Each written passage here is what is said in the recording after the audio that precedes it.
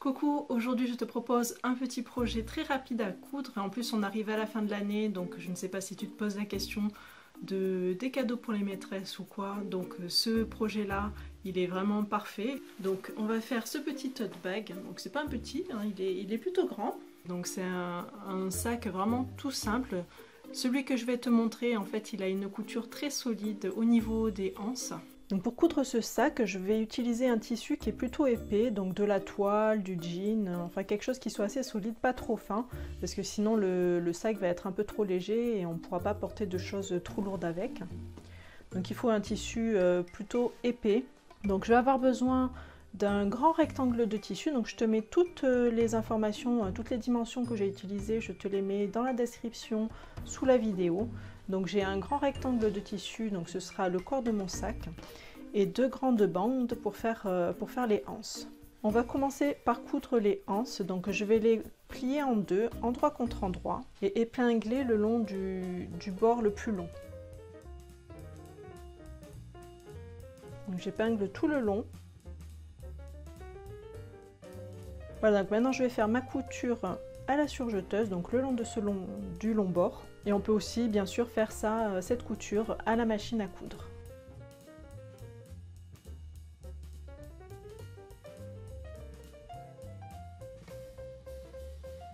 Voilà, donc maintenant je vais retourner mes anses sur l'endroit.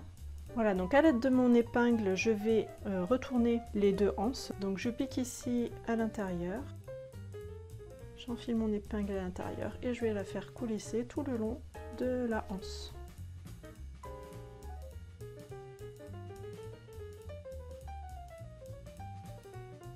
Et voilà, donc on a retourné nos deux anses. Maintenant je vais, je vais euh, l'aplatir au fer pour que la hanse soit bien, bien à plat. Donc la couture, on n'est pas obligé de la mettre sur un côté, on peut très bien la laisser au milieu, c'est pas très important.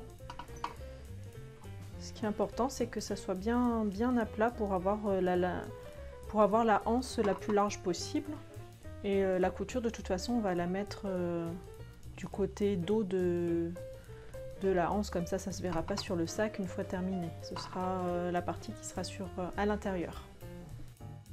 Voilà, et donc maintenant ce que je vais faire, c'est que je vais faire deux surpiqûres, donc une surpiqûre sur chacun des longs bords de mes anses pour bien maintenir euh, cette, cette anse bien à plat.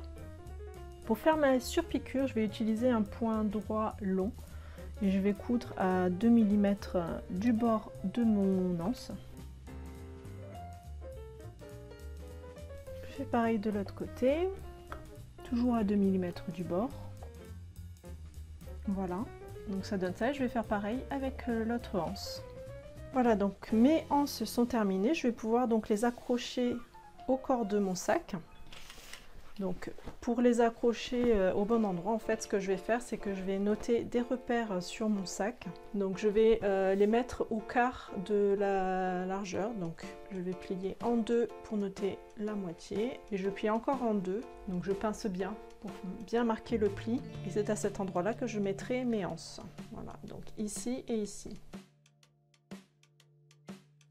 Et je fais pareil euh, de l'autre côté pour les autres anses, pour l'autre anse. Donc je plie en deux, je replie en deux et je marque mes plis très fort en pinçant euh, bien bien bien fort que ça marque le pli. Je mets euh, une épingle, une pince ici de chaque côté pour bien repérer à quel endroit est-ce qu'il faut que je mette, puisqu'en fait, la hanse, je vais la mettre sur l'endroit. Donc je vais venir placer la hanse, l'endroit contre l'endroit de mon, de mon, du corps du sac. Je l'épingle. Et ensuite, là, il faut faire attention à bien mettre la hanse, à ne pas la briller, parce que si on se retrouve comme ça, ça, ça ira pas du tout. Donc il faut bien que ça soit bien droit le long. Je le mets dans le même sens. Je viens accrocher ici et je vais venir fixer ici la hanse avec une petite couture ici et une autre ici. Et je ferai pareil de l'autre côté. Donc là, je vais faire ma couture au point droit à 1 cm du bord. Voilà, donc j'ai bien fixé mes anses des deux côtés. Et maintenant, je vais plier le sac en deux, endroit contre endroit, et on va coudre les bords. Donc là, on fait attention à ne pas euh, mettre les anses à l'intérieur.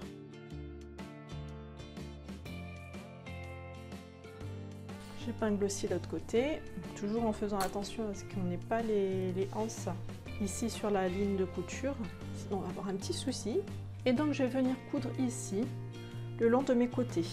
Donc je vais faire ma couture euh, à la surjeteuse parce que c'est beaucoup plus rapide, mais tu peux très bien faire la couture euh, à la machine à coudre et même faire une couture anglaise. Voilà, donc je remets mon sac sur l'endroit. Vais repasser les côtés pour euh, écraser bien la couture et que ça soit bien à plat. Donc je rabats la couture d'un seul côté. Donc ce que je vais faire, c'est qu'on va mesurer ici. Je prends ma règle et je vais mesurer 2 cm, 2 cm du bord. Je retourne, on fait pareil de l'autre côté. Et je vais plier avec le, la hanse. Hein. Je vais plier à l'intérieur comme ça. Je vais mettre des épingles pour que ça tienne bien.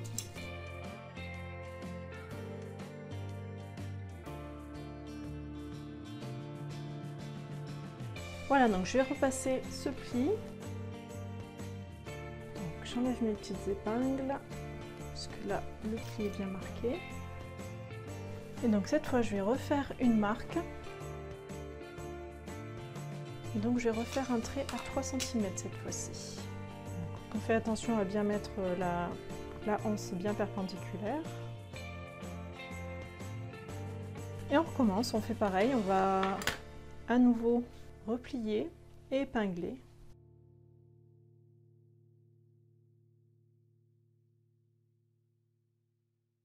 Donc je repasse à nouveau pour marquer le nouveau pli.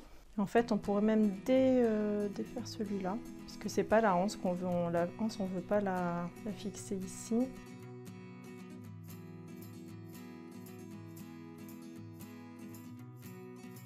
Voilà, donc maintenant je vais surpiquer ici euh, mon pli, mon ourlet. Donc là, il faut faire attention à bien positionner euh, la hanse pour qu'elle ne soit pas cousue, euh, pliée. Enfin, il faut vraiment bien faire attention à comment est positionnée la hanse. Ici, on pourrait même faire une couture décorative hein, si on voulait.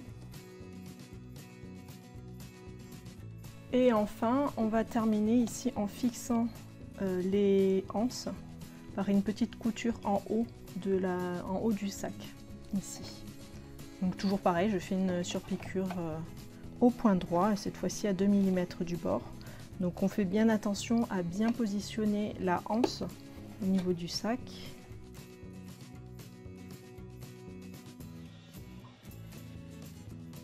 Et je fais pareil avec les trois autres euh, bouts de hanse. Et voilà, notre sac est terminé, donc j'espère que ce tuto t'a plu. Donc n'hésite pas à me donner des idées euh, d'autres tutos que tu aimerais bien voir sur cette chaîne dans les commentaires. Et si ce n'est pas déjà fait, n'hésite pas à t'abonner car j'ai encore plein de choses à te montrer. Et je te dis à très bientôt pour un nouveau tuto couture.